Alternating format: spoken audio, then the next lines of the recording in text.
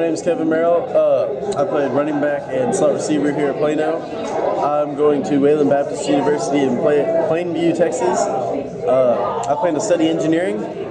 I chose to go to this school because it's a new football program, and I'll be able to play up there as a freshman and uh, start on the football team, so that'll be really cool. And I get to go up there with one of my best friends, Steve Collins, so that'll be awesome.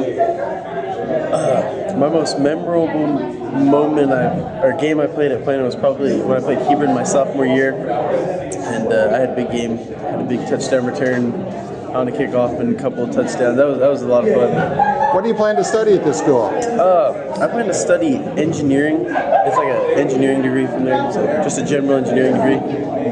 And you picked this school because? Um, I picked it just because it, it, seemed like a good fit. It was it's fairly close to home, you know, within a day's drive, so that that'll be nice. Uh, I get to go there with a friend. It's it's a new program, so I get to. I think that'd be cool to come into a new program and help out on the start of the new program. And what will you miss the most when you graduate? I would miss all my teammates. Man, we had, we're all like brothers up here, so that, that's gonna be hard. So I'm gonna miss everybody.